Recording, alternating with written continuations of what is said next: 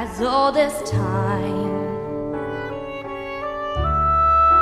True as it can be.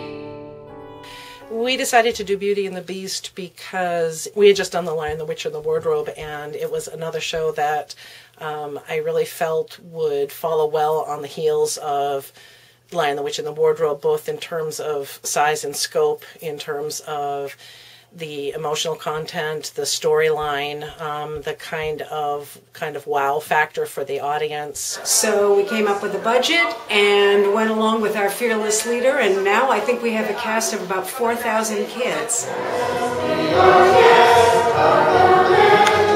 The kids are just in general going to wow the audience. The kids are doing a great job.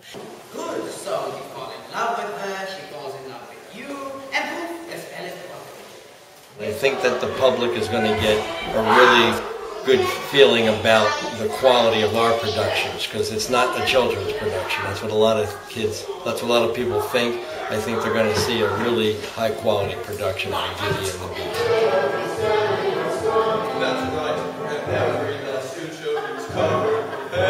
I think for the character itself, uh, it's better not to think of Gaston as the villain. Yeah. Um, and because in his own mind, he's definitely the protagonist.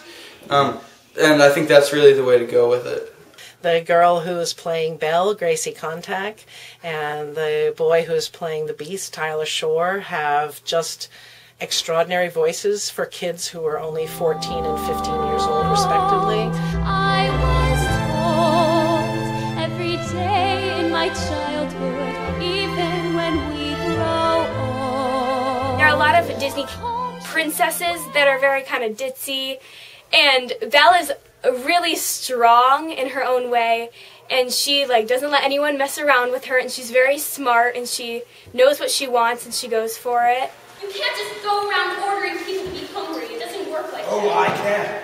Besides, it's rude. It's just a wonderful story, like of how like your position that you're in can really change who you are and like really reshape what you really appreciate. Because the beast really becomes aware that like he goes through all of the things that he's never been through before by becoming a beast just by changing his look.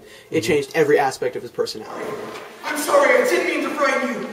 I didn't mean to hurt you. You don't understand. And now he's found this girl, Belle, and she's actually smart and funny, and now he he can actually like appreciate people for who they are. Tale as old